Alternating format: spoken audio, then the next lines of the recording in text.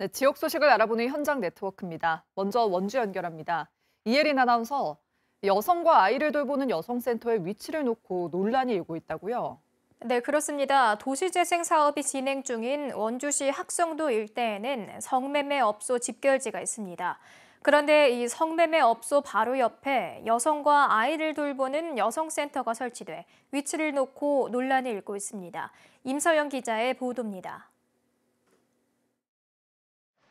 올해 10월 말 개관 예정인 원주시 여성 커뮤니티 센터입니다. 주부 등 경력 단절 여성의 교육은 물론 아이 돌봄 시설이 들어섭니다. 그런데 여성센터 건물 바로 옆에는 담 하나를 사이에 두고 성매매업소 집결지가 있습니다. 여성 커뮤니티 센터와 성매매업소와의 거리는 보다시피 채 2m도 되지 않습니다. 성매매업소 바로 옆에 들어선 여성센터의 위치를 놓고 지역사회에서 논란이 일고 있는 이유입니다. 너 여기 뭐 별로 갈 것 같지 않는데 어두울 때는 일로 지나다니지도 못하고 절로 돌아다가 재생사업 하는데 지장이 많은 거야.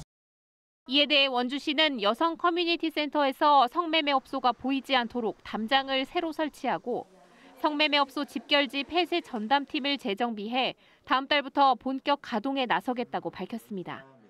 유관기관과 일단 어, 팀이 이제 재정비가 됐으니까 회의를 통해서 거기서 이제 의견을 수렴해서 저희가 이제 할 수 있는 부분을 진행을 할 계획입니다. 하지만 학성동 일대에 대한 도시 재생 사업 계획 단계에서부터 성매매업소 집결지가 제외된 것 자체가 문제라는 지적도 나옵니다. 소강도로와 접하는 업소만 사들을 폐쇄하는 것이라 2022년도 도시재생 사업이 종료된 후 잔여 업소는 여전히 영업을 할 것으로 예상되어서 전수 매입하여서 폐쇄진 공간을 시내 공유 공간으로 사용하는 것이 이제 바람직하다고. 침체된 구도심 학성동에 활력을 불어넣겠다는 도시재생사업 추진 과정에서 성매매업소 집결지 폐쇄는 또 다른 갈등의 불씨가 될 전망입니다. KBS 뉴스 임서영입니다. 수도권 광역 급행철도 GTX의 원주 연장을 요구하는 서명운동이 펼쳐집니다. 서명운동은 원주시와 경기도 광주시, 여주시, 이천시가 읍면동 행정복지센터와 인터넷 등을 통해 이달 31일까지 함께 진행하는 방식으로 추진됩니다.